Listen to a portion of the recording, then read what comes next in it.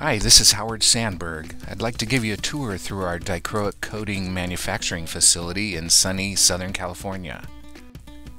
Not only will you see how our quality dichroic glass coatings are created, but our facility is also home to the Museum of Dichroic Art.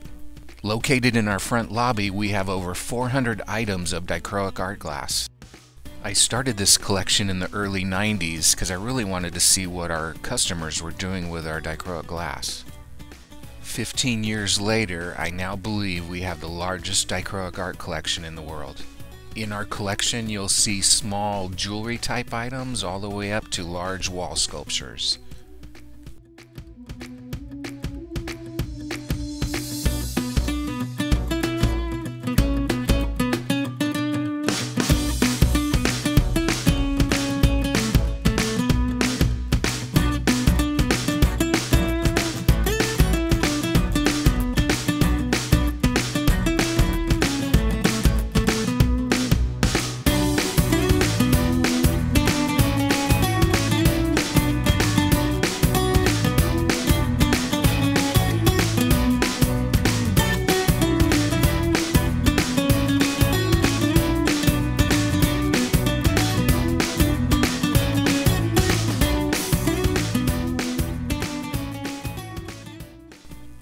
Now not only I get to enjoy this beautiful dichroic art collection, but it's just amazing to see the people's faces when they walk through the lobby door for the first time.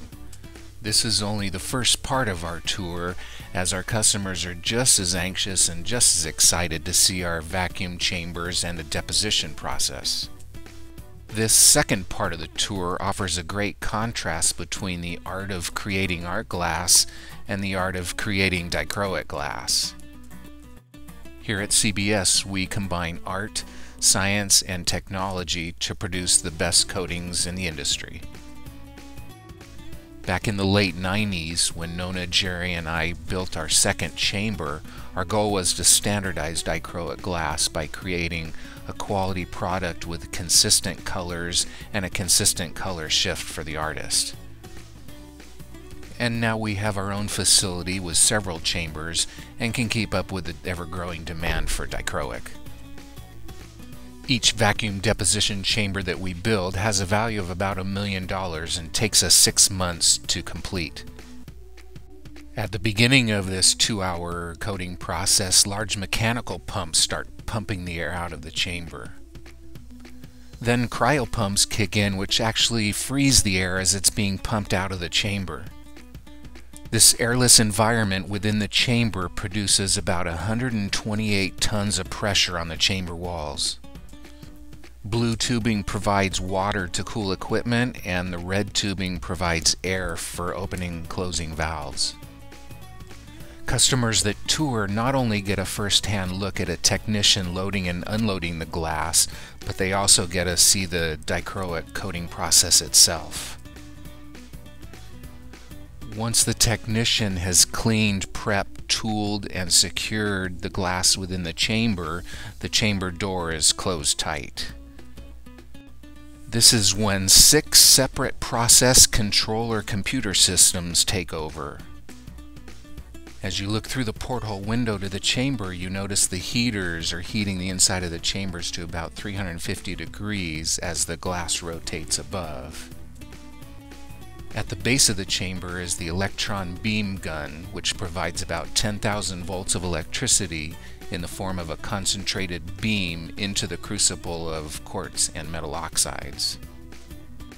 Prior to coating, the electron beam gun sends a small electrical charge throughout the inside of the chamber while certain gases are introduced. This creates a certain plasma effect across the surface of the glass, which is a type of final cleaning for us. Then, finally, as the E-gun ramps up its voltage, it begins to vaporize the material in the crucible.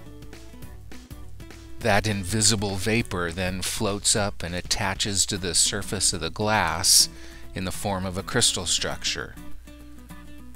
After depositing 15 to 30 layers of this material, the glass is removed from the chamber and inspected.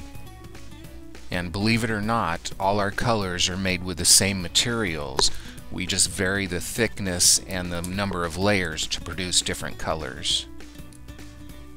One of our favorite glass types to coat is the ripple glass because of its deep texture.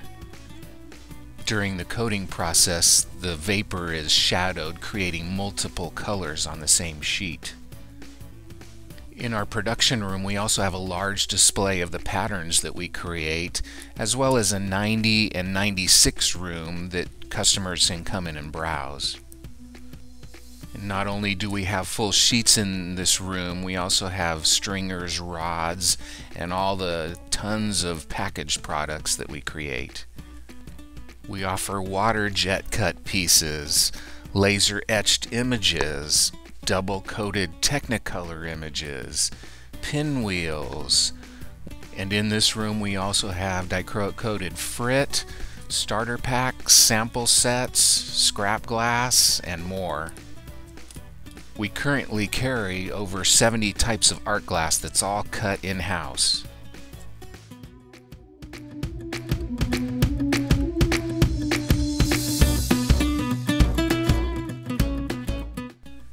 Sheet glass is not everything we coat though. We do have the ability to coat artwork and other items. I think we've overcome most of these obstacles on how to hold and fixture items for coating.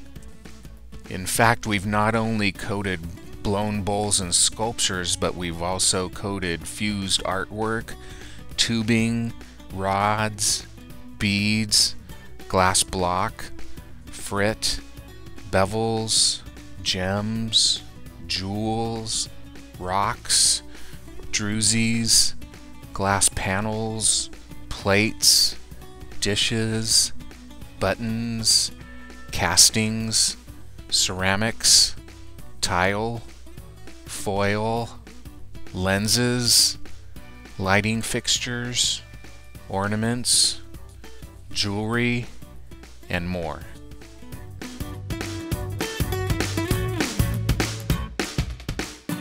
And speaking of more, here's just a few more items of things that we've coated and or created in the past. We work with artists on a daily basis and are constantly testing and creating. We consider ourselves artists in our own right because we develop new dichroic glass products based on artist input. And we have artists on staff as well to test and work our coatings as our customers do. This is the art of dichroic glass.